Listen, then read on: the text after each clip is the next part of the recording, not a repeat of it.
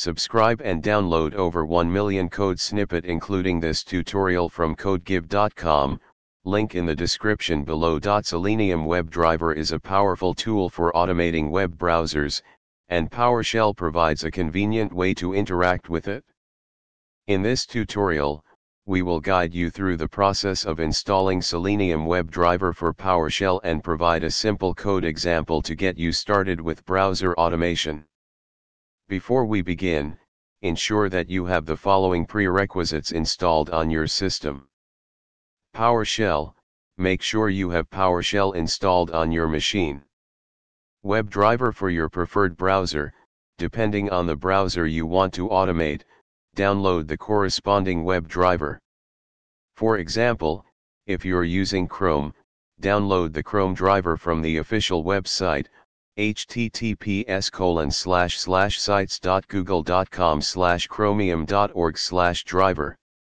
Selenium provides a PowerShell module that simplifies interaction with Selenium WebDriver.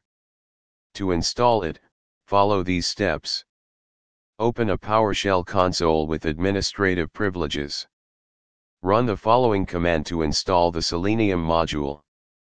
The force parameter ensures that the module is installed even if a previous version is already present, and allow clobber allows overriding existing commands. After the installation is complete, you can verify it by running. This command should display information about the installed Selenium module. Now that you have Selenium WebDriver installed, let's write a simple PowerShell script to open a browser, navigate to a website, and interact with it. Make sure to replace the dollar $driver path variable with the actual path to your WebDriver executable, example chromedriver.exe for Chrome. Also, update the URL and element ID in the script based on your testing needs.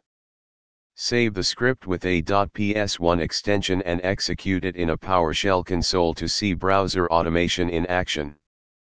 Congratulations! You've successfully installed Selenium WebDriver for PowerShell and created a basic script for browser automation.